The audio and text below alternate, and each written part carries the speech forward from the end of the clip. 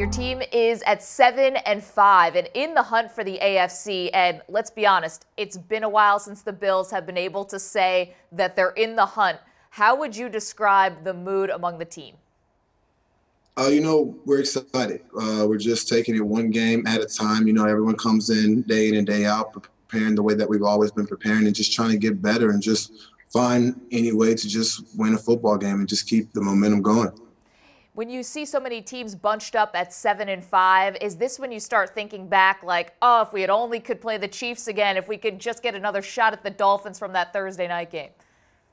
I mean, yeah, it dwells in the back of your mind, you know, those deep, dark corners back there. But I mean, right now, we're just so focused and just moving ahead and just taking it one game and, you know, just finding ways to just beat the Denver Broncos. I, I, I think that's really been our focal point because we know it's a it's a tight race coming here in the late part of November, December here. So we know how important each game is. So we're not really dwelling too far on those past games, just finding ways to kind of get better from them, learn from our losses, and then just keep moving forward.